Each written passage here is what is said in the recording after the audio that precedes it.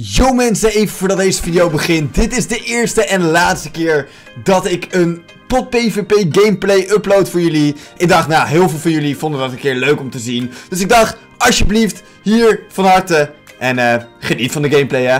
Let's go.